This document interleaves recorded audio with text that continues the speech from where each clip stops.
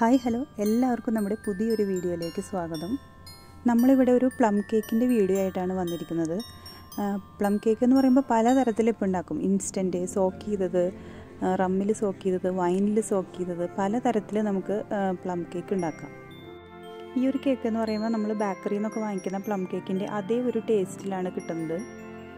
Fruits നമുക്ക് നമ്മുടെ കയ്യിലുള്ളതിനനുസരിച്ച് നമുക്കിതിൽ ആഡ് ചെയ്യാം. ഞാനിപ്പോൾ ഇവിടെ ഉണക്കമുന്തിരി ക്രാൻബെറി ആപ്രിക്കോട്ട് പിന്നെ പ്ലം ഞാനെല്ലാം ഇപ്പോൾ ഇവിടെ ഒരു അരക്കപ്പിന്റെ അടുത്താണ് എടുത്തിട്ടുള്ളത് എല്ലാതും. പ്ലം മാത്രമാണ് ഒരു ഒരു കപ്പോളം ഏകദേശം എടുത്തിട്ടുള്ളത്. പിന്നെ ഓറഞ്ച് പീൽ ജിഞ്ചർ കാൻഡി അതെടുത്തിട്ടുണ്ട്. പിന്നെ ഒരു കാൽ കപ്പ് ചെറി പിന്നെ ടൂട്ടി ഫ്രൂട്ടി അപ്പോൾ വീട്ടിൽ തന്നെ വളരെ ഈസി ആയിട്ട് ടൂട്ടി ഫ്രൂട്ടി ഉണ്ടാക്കുന്ന ഒരു വീഡിയോ ഞാനത് മുന്നേ അപ്ലോഡ് ചെയ്തിട്ടുണ്ട്. അപ്പോൾ ഞാനതിന്റെ ലിങ്ക് ഇവിടെ താഴെ കൊടുക്കാം.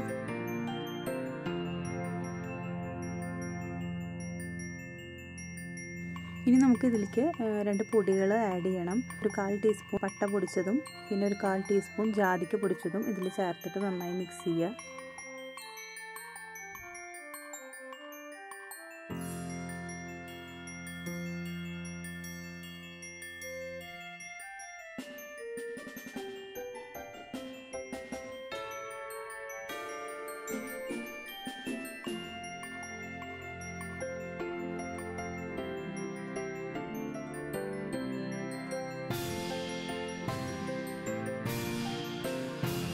ഇനി മിക്സ് ചെയ്ത ഡ്രൈ ഫ്രൂട്ട്സൊക്കെ ഒരു ഗ്ലാസ് ജാറിലേക്ക് മാറ്റാം. ഡ്രൈ ഫ്രൂട്ട്സ് സോക്ക് ചെയ്യാൻ വേണ്ടിയിട്ട് ഞാൻ വൈനാണ് എടുത്തിരിക്കുന്നത്.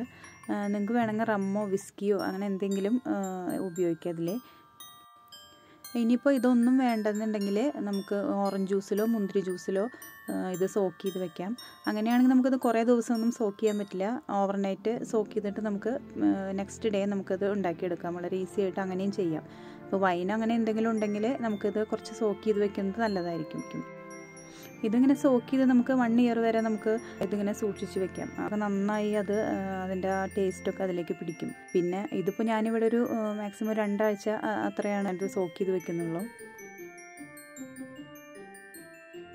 കുറഞ്ഞത് നമ്മളൊരു വൺ വീക്കെങ്കിലും ഇതിങ്ങനെ സോക്ക് ചെയ്ത് വെക്കുകയാണെന്ന് വെച്ചെങ്കിൽ നമ്മൾ കേക്കൊക്കെ ഉണ്ടാക്കുമ്പോൾ നല്ല ടേസ്റ്റായിട്ട് വരും. ഇനി നമുക്ക് കേക്ക് ഉണ്ടാക്കി തുടങ്ങാം. അതിന് വേണ്ടിയിട്ട് ഒരു കാൽ കപ്പ് ഷുഗർ എടുത്തിട്ടുണ്ട്. അത് നമുക്കൊന്ന് കാരമലൈസ് ചെയ്യാം. അതിലേക്ക് ഒരു കുറച്ച് ഒരു ടേബിൾ സ്പൂൺ വെള്ളം ഒഴിക്കുക വെച്ചെങ്കിൽ നമുക്ക് പെട്ടെന്ന് അത് ആയി കിട്ടും. ഫ്ലെയിം നന്നായി കുറച്ച് വെച്ചിട്ട് വേണം ഇതെല്ലാം ചെയ്തെടുക്കാൻ. ഷുഗറൊക്കെ ഒന്ന് മെൽറ്റായി വരുമ്പോൾ ഏകദേശം ഒരു ഗോൾഡൻ ബ്രൗൺ ആയി വരുമ്പോൾ നമുക്കൊരു കാൽ കപ്പ് ചൂടുള്ള വെള്ളം അതിലേക്ക് ഒഴിച്ചിട്ട് നന്നായിട്ട് അതൊന്ന് മെൽറ്റാക്കി എടുക്കുക.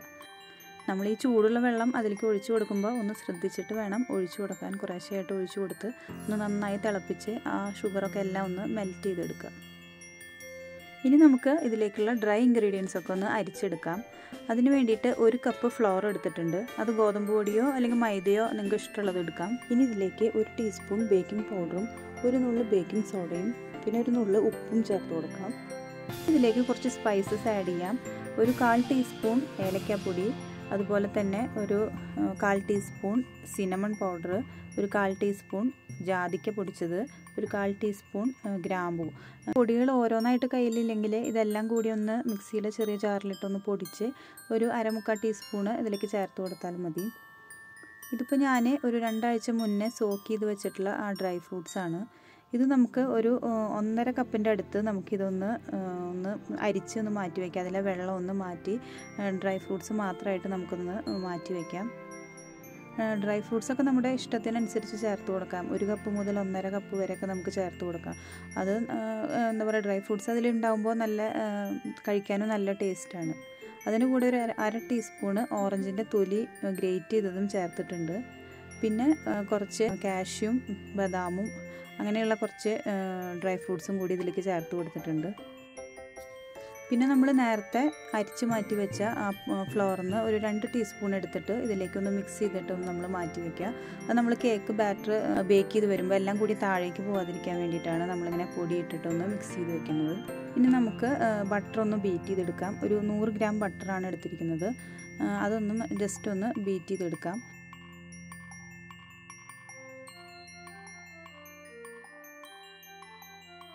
പിന്നെ ഇതിലേക്ക് ഷുഗർ ഞാനിപ്പോൾ ഇവിടെ ബ്രൗൺ ഷുഗറാണ് എടുത്തിരിക്കുന്നത്.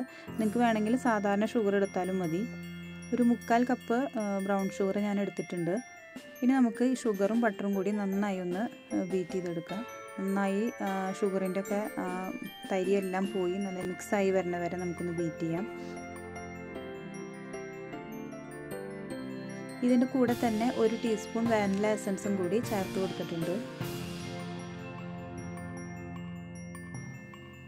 ഇനി ഇതിലേക്ക് രണ്ട് മുട്ട ചേർത്ത് കൊടുത്തിട്ടുണ്ട്.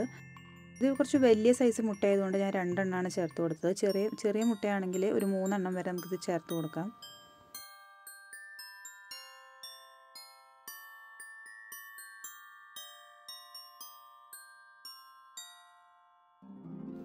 ഇനി ഈ മുട്ടയും ചേർത്ത് നന്നായിട്ട് നമുക്കൊന്ന് ബീറ്റ് ചെയ്തെടുക്കണം.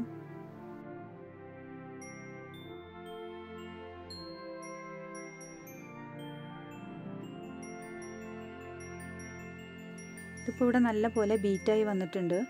ഇനി നമുക്കിതിലേക്ക് ഡ്രൈ ഇൻഗ്രീഡിയൻസ് ഇട്ട് നന്നായി ഒന്ന് മിക്സ് ചെയ്തെടുക്കാം. പൊടി മിക്സ് ചെയ്യുമ്പോൾ കുറേശ്ശെ കുറേശ്ശെ ബാച്ചായിട്ട് ഇട്ടിട്ട് വേണം നന്നായി ഒന്ന് മിക്സ് ചെയ്തെടുക്കാൻ.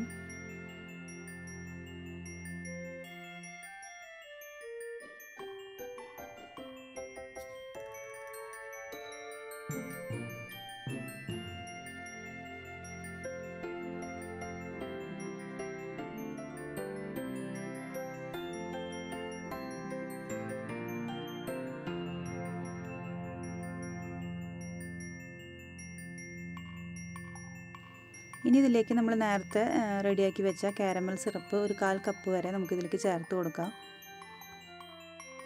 ഈ കാരമൽ സിറപ്പ് കൂടുതൽ ചേർക്കുമ്പോൾ നമ്മുടെ കേക്ക് കുറച്ച് ഹാർഡ് ആവാനുള്ളൊരു സാധ്യതയുണ്ട്.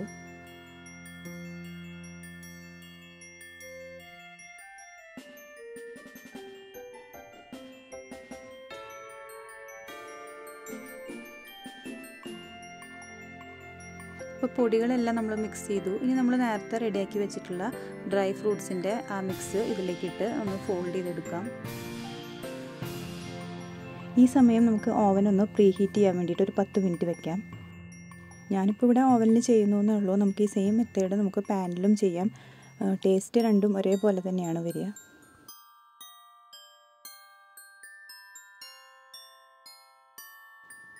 ഇനി ഇത് ഒരു ബട്ടർ പേപ്പർ വെച്ച ഒരു കേക്ക് ടിന്നിലേക്ക് വെച്ചിട്ട് നമുക്കിതൊന്ന് ബേക്ക് ചെയ്തെടുക്കാം.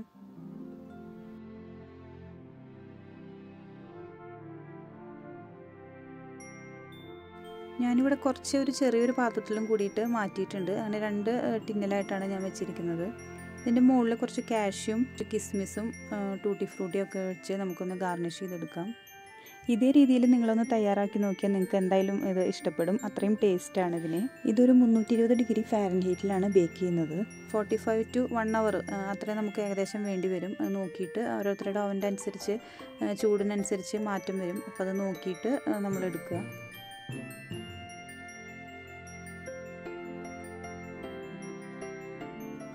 ഇതിപ്പോൾ ഇവിടെ കേക്ക് നന്നായി ബേക്കായി വന്നിട്ടുണ്ട്. ഞാനിപ്പോൾ ടിന്നിൽ നിന്ന് മാറ്റി.